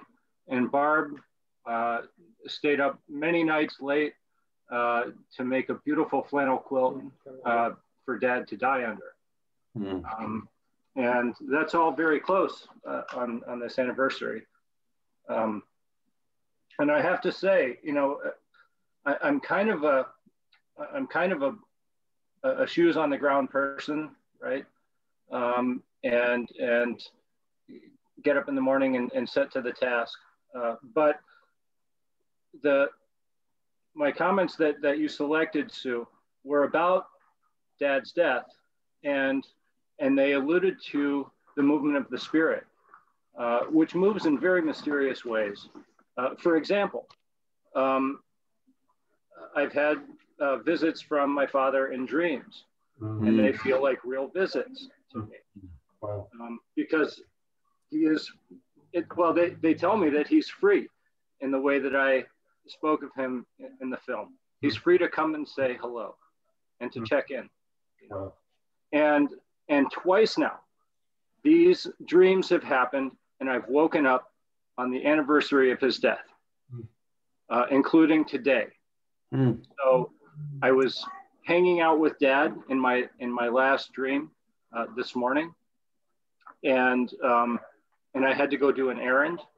And the next thing you know, I find myself across town uh, in some shopping center trying to buy shoes for my daughter. And I look outside, and now it's rush hour, and I'm not going to get back in time. And then indeed, I wake up, right? Mm-hmm. And and I I wake up thinking, you know, what's the takeaway, right? What are the priorities? What am I doing? You know, um, and and certainly uh, Dad would appreciate someone examining one's life in that way. You know, he always encouraged all of us to do so. Um, but you know the, the the the alignment of of the date um, is I, I, can't see it as coincidental, even though I don't like I don't know I don't believe in magic or whatever, but I believe in the spirit, you know, in the spirit. Thank you. You do believe in magic. Maybe I do. Jerry, you're Jerry Hildegard, remember? I, I, I do. What's more magical than somebody taking Hildegard for their confirmation name? You should have seen the bishop. You couldn't, you couldn't believe it. well, you created magic right there. You changed. I mean, I don't know anybody that's gotten away with that but you. yeah. By the time, yeah, by the time it was over, it was it was done. You know. right. Thank you, Jerry. Thank you. Sir. Um, you know, what, when you talked about the spirit being right there, whew, you know, you totally felt it. You felt him. Um, and here we are, you know, so many years later. Uh, is there anything else that people would like to share now before we get off? Marianne? You gotta, go.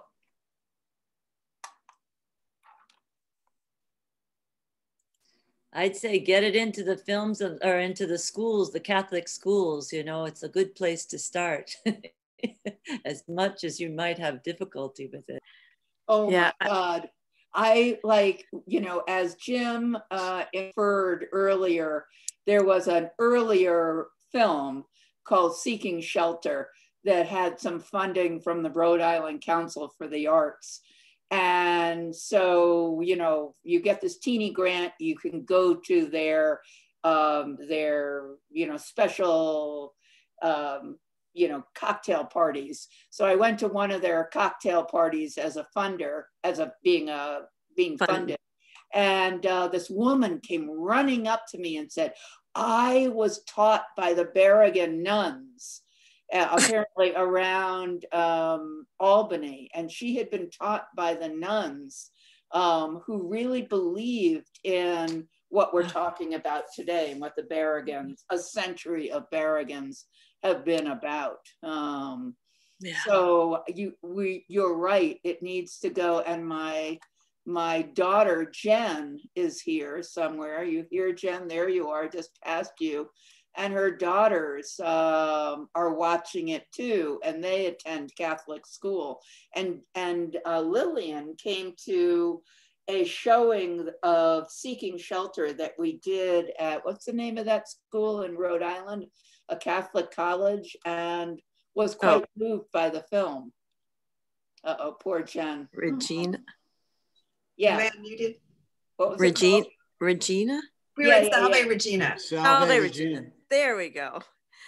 Give it to the kids to take into the schools, to their their social studies teachers, their religion teachers, like that. let them be the ones to get it into the school. It would be wonderful really. Yeah. So, so just so that now that I'm unmuted, I just wanted to mention um, that it was so wonderful to be so close to Phil as he spoke, to see and feel his voice and his intonations, and the same with Dan and Liz. But just, uh, I don't know, he was like an uncle for us. And like I said, we've known him since we were little, little. Actually, dad met my, um, met Dan the night I was born. So that goes ah. way back. Yeah. I'm old now. No. That's a long time ago. It is. Taylor, are you here? Taylor Sisk, you were here. here. I am here. I've been lurking. You've been lurking. Taylor Sisk, you know, in kind of how at least at one point, I thought we might market the film, is that this is 30 years. This is 30 years in the making, this film. Taylor, tell us. Well, about... it's not, not quite 30, I don't think. Um, ah, well, it's a good I'm, number. I'm, I'm, a, I'm, primarily a journalist and not a filmmaker, although I've made a few films. But um, my, the first time I interviewed Dan was um, it must have been uh, maybe 1995 uh, when John, I don't think John, John Dear is, I don't know if he's still with us, but he and, and Phil were on trial in um, Elizabeth City, North Carolina for a Plowshares Act. That's the first time I interviewed Dan, although um, Dan had been a big, big influence on my life. I was, uh, I was in the military and I filed a CO claim while on, on active duty. And that's when I became introduced to, to Dan's writings. But um, I, so it's been about 25 years. But I, one thing I wanted to say, um, you, you, someone just mentioned that the close-ups, the that, that's the, me. That we, used, um, we we shot my partners and I shot the footage of Phil in um, prison in Petersburg, and I guess that was 1998, and um, it was his birthday, and I, I, believe it must have been maybe his uh, what would it have been maybe his 72nd, 73rd birthday. Mm-hmm. And we had, we had brought, we had brought him some chocolate bars for his birthday, and we're so close there on that close up, you can see a little bit of chocolate on his lip. And I had forgotten about that. I hadn't thought about that in many years, and it was I don't know, it just touched me so deeply to to see the chocolate on Phil's lips because he so much enjoyed those chocolate bars and and actually that day was is one of the most memorable of my entire life. And uh, I just want to say I think the film is wonderful, and it's been so wonderful to sit here with you guys and, and, and listen to this conversation. It's it's an honor to be here. And Taylor, it's an honor to be with you. I don't think I've ever seen you before. I know. I came to your. Uh, I came to your. Uh, your place once in Brooklyn just for a couple of hours with my uh, partners at that time, and that's a whole story that we don't want to talk about the, that partnership. But we met. It worked out. It oh, you're right. But this did work out. Um, uh, Kathy Boylan, actually, I think it was someone at the Catholic Worker in Washington that told us about Taylor, and then we sought Taylor out and golly, that's been a long time, but. Well, it's just, just so grat. It's so, I'm so grateful to finally see some of this footage um, um, on the screen, and, and I hope I just this has been such a long time coming. This documentary, and I'm, I'm, i think uh, it's wonderful. I, I, just hope I hope uh, as many people as possible can see it. It, it as, as as others have said, it couldn't be more timely today. Sue, can I just uh, interject and say Ched Myers and Elaine, his wife, are wanting to make a comment. So if you could let them, Ched is, goes way back with uh, Phil and Sue and Dan sure. as a theologian and a community member. Ched, are you still there? Yes, yes, we are. Um, oh, hello, family. It has been so wonderful uh, to be with you this afternoon. I'm seeing a couple of your beaming faces at us. Um, it you know this afternoon uh, of being able to watch this film and then this conversation together just uh, reminds us uh, of how to how we need to be human um, in this time and uh, so thank you uh, for the hard work on this film um, we are so grateful we are beaming in from uh, Southern California Chumash territory and feel feel connected over this big, big country. Uh, I'm just glad to be with you. Bill McNichols, here's what you can do for Eric's damn book. you can provide the cover, bro. Um, nice to see you, Bill. good to see you. Um, while we're talking about um, Eric's book, I think it's only right that we also give a shout out to Jim Forest's wonderful biography yeah. on Dan, which has also, I think, been very uh, helpful in keeping this story alive. And I just want to share one thing since we are having a little bit of a family moment there um, with uh, Frida and Kate and Jerry family all on uh, all on the camera at the same time. You know, we we think a lot about the public witness of Liz and Dan and Phil, and and rightly so. But I think just about everybody here on this call uh, has had those moments in the seams of that work, which were deeply personal and deeply relational and deeply transformative. Um, when I was 21, I hitchhiked across the country from California and turned up on the doorstep of Jonah House at 10 p.m. on an October evening. Uh, here I was, uh, a non-Catholic, a non-Easterner, uh, didn't nobody know me. And the first uh, face at the door is Phil Berrigan. Wow. And he, open, and he opens his arms and welcomes me like the prodigal son. And in that moment, I began to heal from a very deeply personal father wound.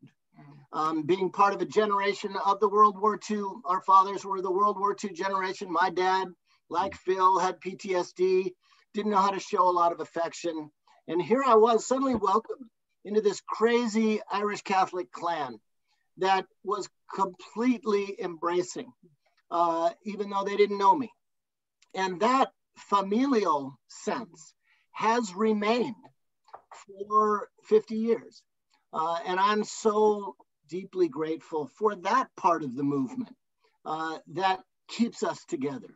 Yes, the public witness, yes, the politics of it, but it's the web of relationships and friendships, and I dare say family, uh, that is um, the backbone of the spirit that we're all feeling tonight. And I want to thank not only the filmmakers and collaborators, but thank um, Liz and uh, Jerry and family and uh, Kate and family and Frida and family for continuing to be family for all of us. We love you. Yeah.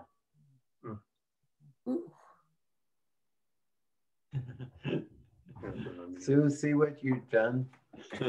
Oh, Lord, yeah. So thank you. great. I mean, No, I feel the same way. all Um, lifted out of our quarantine by this movie, you know? uh, let's not talk about that. Um, so, family. Is there more family or should we have a family dinner? I wish somebody had the poem some and could read it right now. I don't. Um, Bill Wylie-Kellermann would be able to recite that, I betcha. Bill? I, I can get it if you give me a minute. Recite what? What a particular poem? Yeah, uh, some.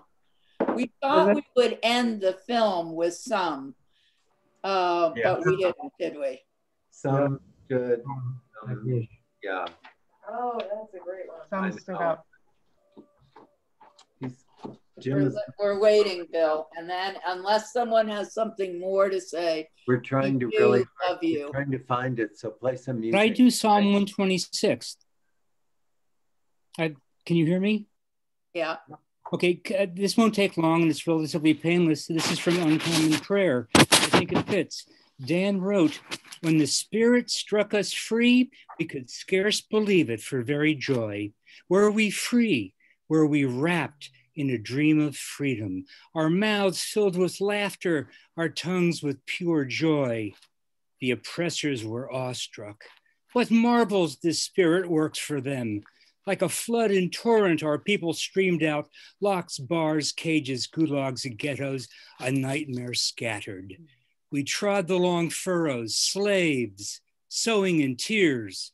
A lightning bolt loosed us, and now we tread these same furrows, half drunk with joy, the golden sheaves in our arms.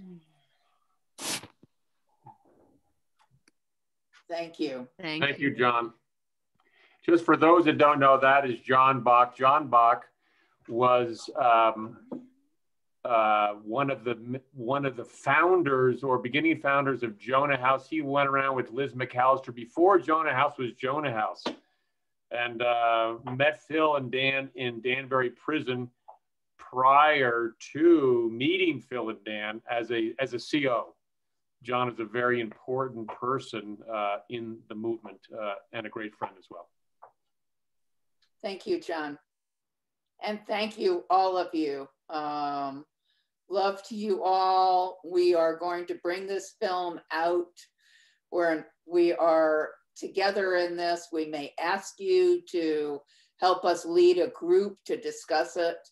Um, and uh, we are so thankful. We, this film is because of you all. So love to you all and hugs to you all and stay safe.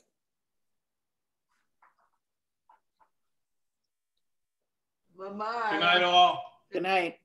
Blessings. Good night. Good night. Thank you night. so Thank much. you so much. Good night. Good Good night, John Boy.